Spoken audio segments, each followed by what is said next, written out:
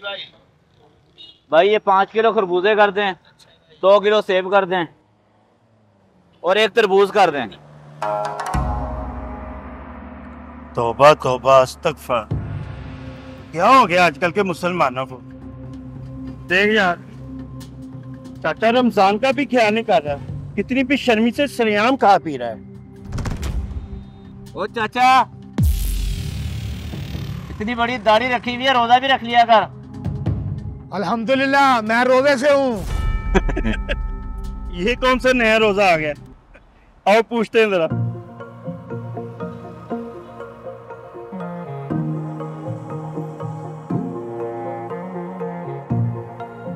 चाचा खाई पी भी जा रहे हो।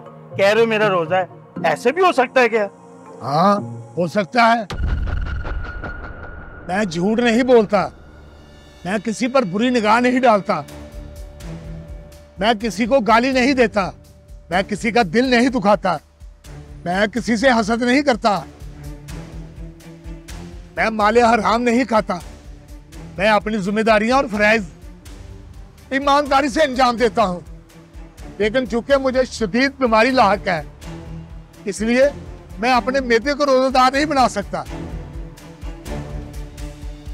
पुत्र मैं सिर्फ़ मैं सिर्फ़ खाता पीता हूँ और अल्हम्दुलिल्लाह रोज़े से हूँ। अब तुम अपने गिरेबानों में झाँक कर बताओ सच सच बताओ कि तुम रोजादार हो।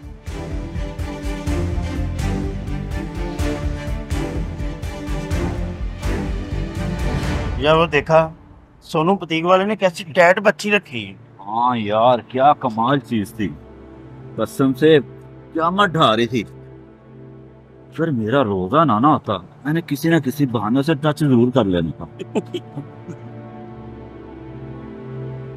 अच्छा यार मुझे ये बता तूने झूठ क्यों बोला कि मेरा माल ब्रांडेड है जबकि तेरा सब कुछ सही तो चल रहा था? और छोड़ यार बगैरल बंदे को। इसने घटिया माल बेच बेच के प्लाजे बना ले। हमने झूठ बोल लिया तो क्या हो गया? हमने मुनाफा नहीं लेना कुछ? ठीक है चलो। चलो फ्रूट लेते हैं जाके हैं? और पुत्र और कहाँ खो गए हो? और मैंने कुछ पूछा है।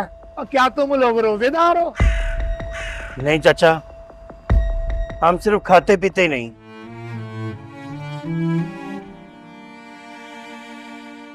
अरे रोजा सिर्फ़ भूखे रहने का नाम नहीं है।